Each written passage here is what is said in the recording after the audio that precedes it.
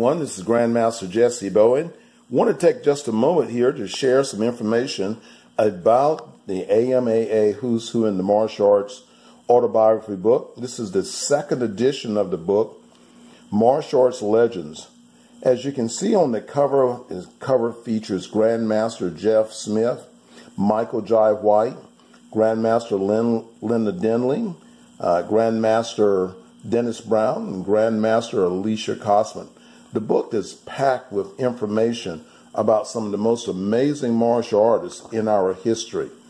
Not only does it tell in the book about their achievements, but it also shares the information of why they got started. We have John Chung, we have Helen Chung, uh, we have Dennis Brown. You know, the list goes on and on. If you are a martial artist or if you know someone that is a martial artist, then this book is a very empowering book. You know, as people begin to pick up the book and read in the book, they're starting to discover all of the people that they have heard about, they read about, and maybe people that didn't, didn't even know who are featured in the book. Now, these are very inspirational stories.